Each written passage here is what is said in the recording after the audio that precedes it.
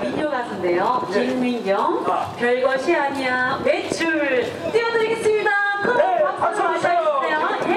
예. 임경량입니다. 아유, 되게 막